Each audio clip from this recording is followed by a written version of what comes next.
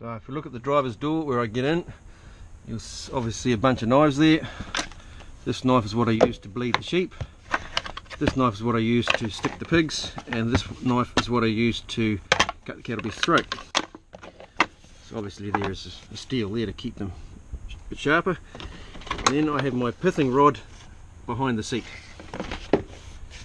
So then in here underneath the seat is where I store my ammunition and bolts and magazines. So I've got the subsonic for ewes and lambs, 22 Magnum for the beef, and the high velocity for the pigs and rams.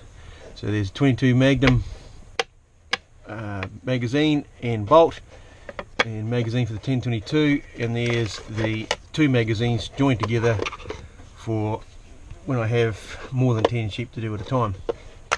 And then there's just more, more bullets in the back there the right of the steering column. First off I have up here a temperature gauge which gives me the temperature inside and outside. Then I have a clock obviously tells me the time. And then down here we have four switches. This switch is already in. This one uh, controls a PTO shaft which I don't have in so I don't need to use that one. This one controls a light at the back so if I have an early start in the morning and it's dark or I finish late at night I can turn that light on and it gives me light out the back under the deck. This one is just for the reversing camera and this one controls the inverter on and off. So if for whatever reason the inverter gets low on battery, it will switch off and squeal at me. So then all I need to do is open this door, come in, switch that off, turn the key on, we'll start the truck, wind the idle up and switch it back on and I've got power. Just saves me getting in of the truck to do that. So we have our uh, phone holder, magnetic phone holder, which this plugs into my ears, earphones, so I can drive along with hands-free. Next we have a GPS unit, obviously that you know what that does, and then my reversing camera. So that shows a picture of behind my truck where I can uh, back up to the animals that I'm doing or check the trailer and see where the rail lines up with my rail at the butcher shop. Next we have my iPod, which obviously goes through my stereo, that gives me reception where there is no reception. Right, so looking to the rear of my cab. First off I have this box, which fits my, my lunch and my bag in it. Um, and then this one I have my first aid kit, logbook, tags for the animals, uh, a label maker, spare batteries, insulation tape, scissors, just some general odds and ends and then I have my rifle racks here.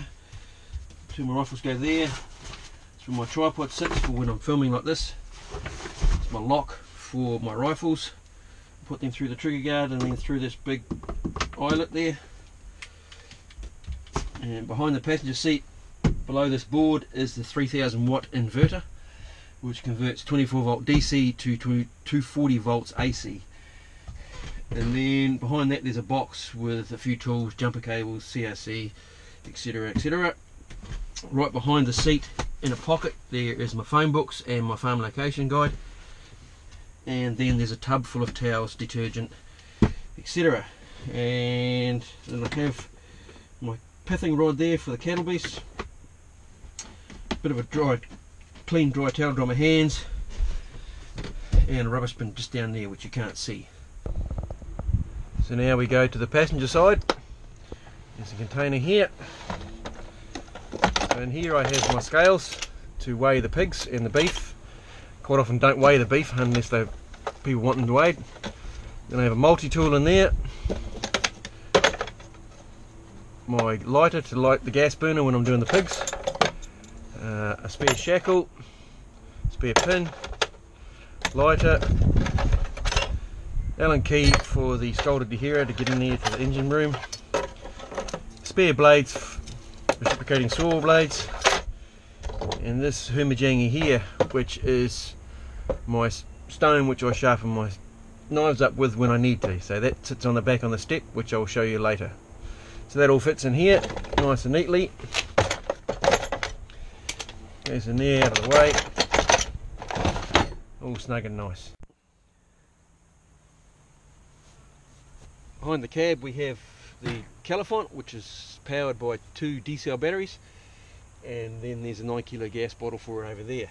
And then in here we have a 95 litre water tank encased in 50 millimeter chiller panel.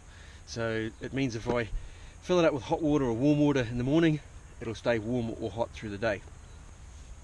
So just behind the water tank, we have my inlet, which obviously allows me to collect the hose up to fill it up, and or if I want gravity feed, just to wash my hands.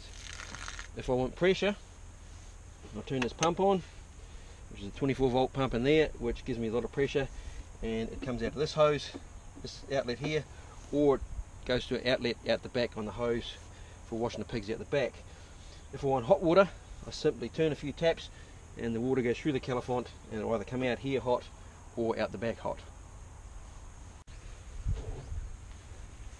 So on to behind the passenger side, behind the cab, we have 20 litres of diesel, spare diesel if I need it, and then you can see the gas bottle up there, and then I have 120 litres of diesel tank here, then I have the box which I put my skins in. And it's got a, a grill, grill floor, it's also where I put my stay for the cattle when I do my cattle. So if I want to bring them out, the skin, take the skins out, open the bottom side, and then just pull them out of there. It's quite, makes the job a lot easier. Now at the, right at the back, we have the step. On the left hand side, I have my steps. They're just held in place with this spring latch here, spring loaded latch. Out it comes, and down they go. Again, another invention of mine.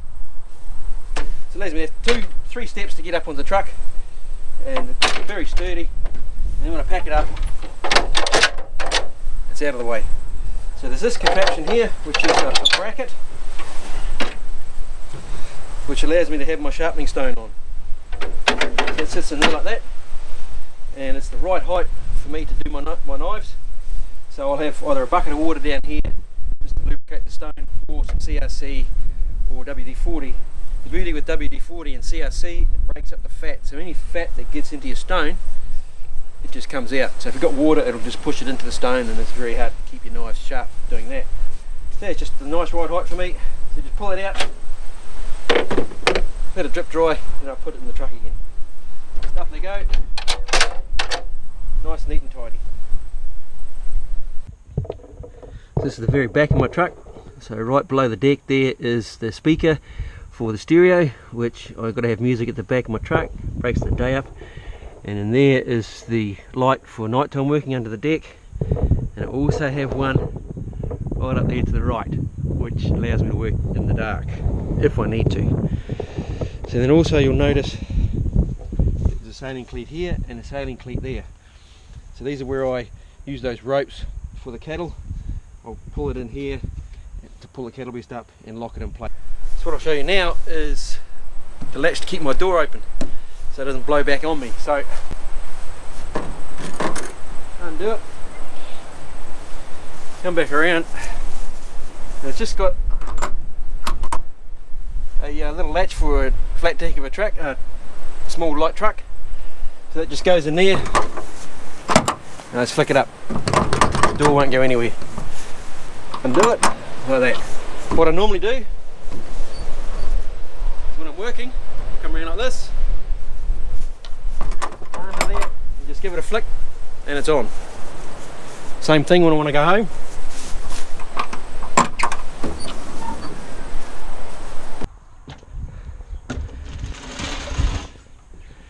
So as we get in my truck, this is the right hand side of my truck. So I have the hose here to wash the pigs and wash the deck when I need to. And there's a scrubbing brush, apron when it's hot, the rope that I use to bring the cattle to me when they're quite a way away. Obviously a wet weather jacket, leggings that I wear most days, and the ropes for the cattle. And a tub to put some offal in. So as we go around, you can see there's one, two, three rails. It's done a checker plate, a couple of buckets. And to the very left of my truck, I have my remote control, which I take off when I do pigs and beef. Uh, radio earmuffs for when I'm using the reciprocating saw. marker pen to write down the weight for the pigs and they're all segmented to where each pig is on the truck so I know which one's what. And then my tools, my trade down there and a few locks to lock things in place so things don't run away on me. And also have inlet and outlet vents which I open and close at my will. Let the air flow through the truck. And if we look up the back here, I have some switches. So that switch, pull that switch, operates a light out here, which I can use at night time. And this one operates the inside lights for when it's really dark. This is what it looks like when I've got the hot water cylinder in to do the pigs. Uh, obviously I fill it up here and it overflows up here. So when it's full, I turn I can hear it bubbling out, so I turn it off. Right, so here's all the tools that I used to do the pigs. So when they come out of the scalder to here, sometimes I use this hoe, garden hoe that I've cut off.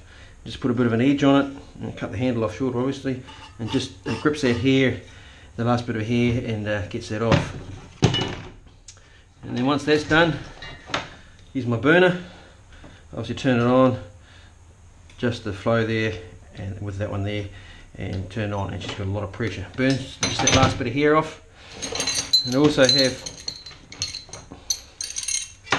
this thing's just a calf chain puller and this is another homemade invention of mine that uh, I use to lift the pigs or drag the pigs away. So you just put that around their leg and it pulls tight on itself.